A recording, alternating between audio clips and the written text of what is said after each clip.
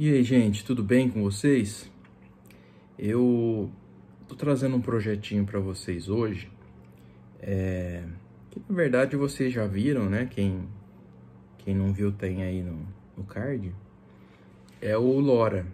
É, eu fiz um firmwarezinho do pro Raspberry, né? Falar com o, o, o Arduino e uh, durante o, o, funcionamento do firmware, tem uma parte que, que faz é, alertas lá, né? E eu comentei isso no outro vídeo, algumas pessoas até me perguntaram como que é o funcionamento dessa, desse alerta, né? É, na verdade, pessoal, você pode programar ali o que você quiser para ser alerta. E até mesmo uh, o acionamento automático né, de alguma coisa. Por exemplo, sensor de temperatura alcançou um valor máximo lá ou um valor mínimo que você está esperando né, que, que aconteça, ele acionar alguma coisa, né, como um ar-condicionado ou então um aquecedor e ter é, uma, uma atuação sobre aquilo automaticamente, sem precisar fazer nada. Pode ser também um sensor de, de luminosidade que determinado horário fica escuro, né? Ou fica claro, ele faz uma ação, né? Esse alerta que eu coloquei ali é uma coisa que você pode programar com qualquer sensor, com qualquer coisa, tá bom? O que, que eu trouxe hoje para a gente é, brincar aí, né? Então, uh, eu tenho aqui o Raspberry, né? Com o, a plaquinha DK03 aqui e com o LoRa, certo?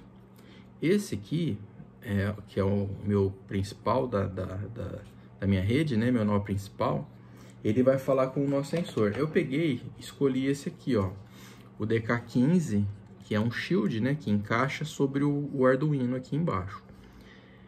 Poderia ser qualquer outro, tá, pessoal? Qualquer DK aí ia falar com ele, tá? Então eu escolhi esse aqui porque estava na mão aqui na mesa.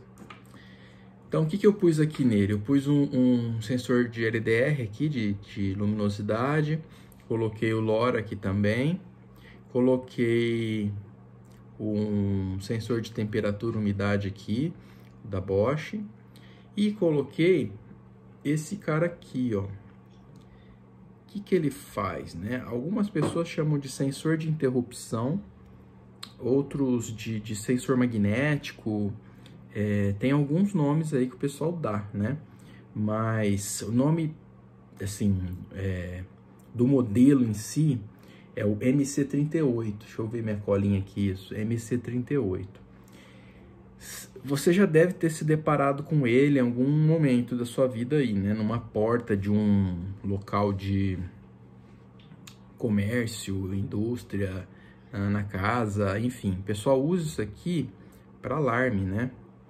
Qual, como que ele funciona? Ele, ele tem um, um contato aqui dentro, né? Que fica é, no momento que você encosta o, o, o magnético aqui, né?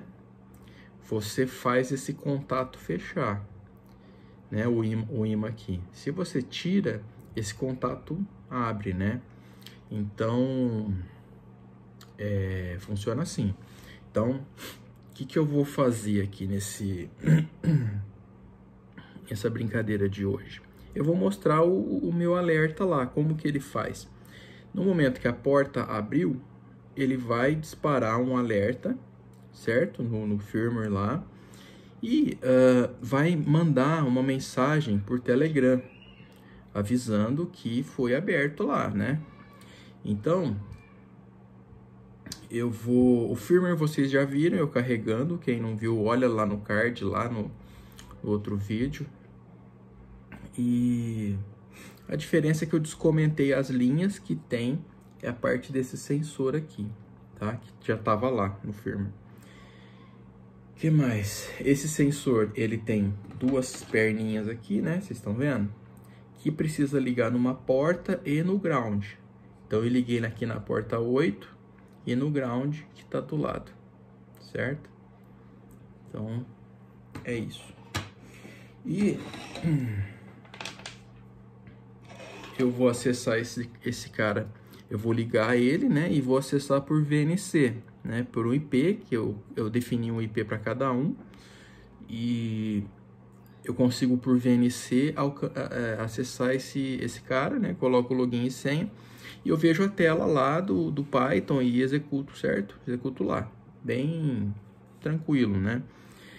E ele tem os LEDs aqui, ó, que é um verde, um amarelo, né, o laran meio laranjado, e um vermelho. O verde quer dizer que ele está enviando, que é o, é o TX, né, que ele, ele enviou um sinal pelo rádio. E o amarelo que ele recebeu, é o RX, recebeu um sinal do outro, do outro rádio.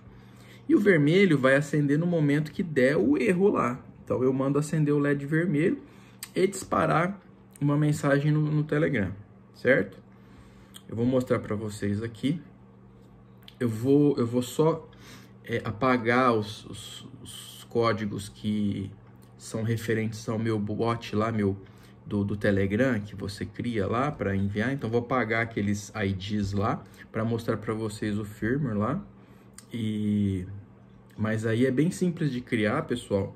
Busca no Google aí, vocês vão ver que dá para automatizar algumas coisas com o Telegram. O Twitter também. Tá bom, pessoal? Então vou mostrar a tela aqui. Até já. Então, pessoal, é, esse aqui é o firmware lá que eu falei para vocês do, do LoRa, né? E a mim, como é, minha ideia é ser didático, né? Isso aqui eu vou disponibilizar lá no GitHub para vocês é, brincarem, tá bom, pessoal? Bom, uh, basicamente ele importa algumas bibliotecas, né? Do, do LoRa e outras coisas mais. Ele 915 MHz, canal 10 aí, enfim. Ele atribui algumas portas aqui, inclusive o buzzer que está desativado porque é muito chato, né? Um barulho chato mas que ele a ideia era fazer barulho e não acender a luz vermelha, né? Mas aqui em casa cansa um pouquinho. Aqui o menuzinho, né? Que eu poderia usar lá o PySimple Guy lá, sabe? É que eu mostrei em outros vídeos lá, né? Bom, aqui ele vai é, receber a mensagem, vai montar o pacote de TX. Aqui ele vai montar o pacote de TX, né? E aqui está a parte do Telegram que eu falei para vocês. Ele vai precisar de um, uma chave aí e um token, né?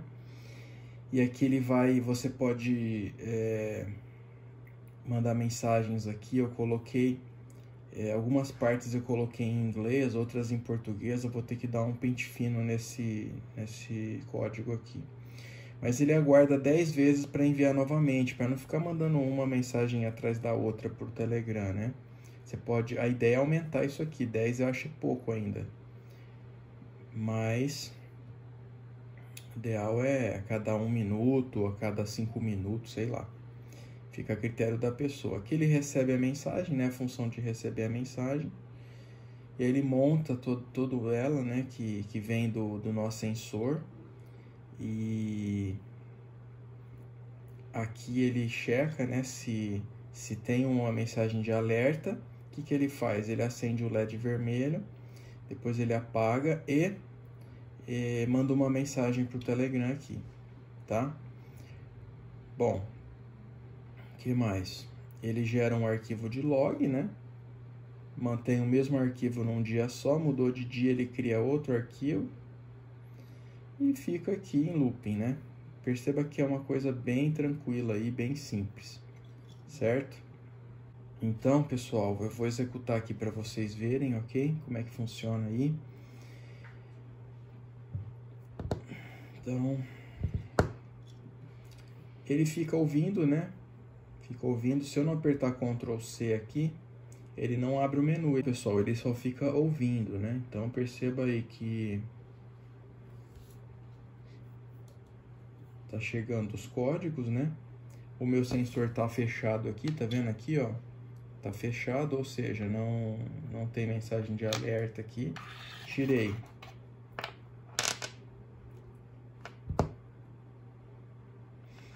Lá, ó, o alerta, certo? Deixa eu abrir meu Telegram aqui pra página aqui, ó. Agora ele vai fazer 10 loopings e depois vai mandar outra.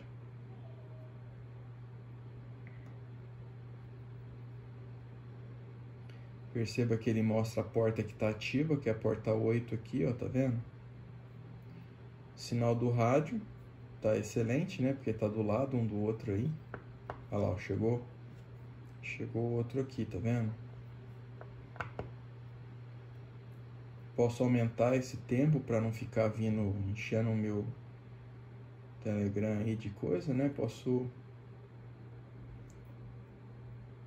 aumentar aí, mas perceba que uh, eu vou fechar agora, tem que sumir essa mensagem aqui, ó. Então vou fechar aqui a porta, ó.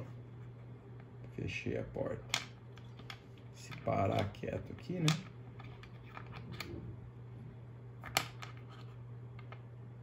Parou. Olha lá, sumiu o alerta, né? E óbvio que não vai chegar. Óbvio que não vai chegar mensagem aqui, né? Tirei.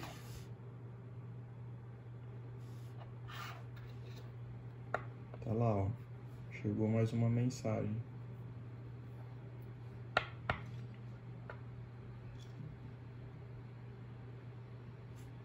Fechou a porta.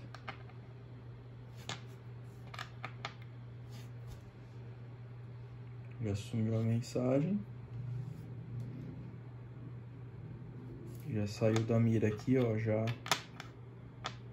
desregulou.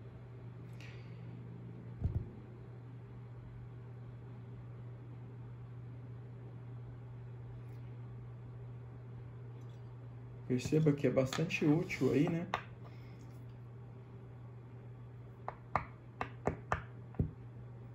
Olha lá, já veio a mensagem novamente.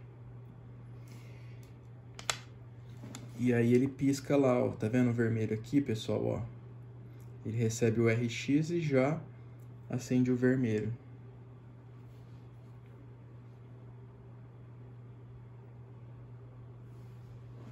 É isso aí, pessoal. Obrigado aí por ter assistido o vídeo. Um abraço.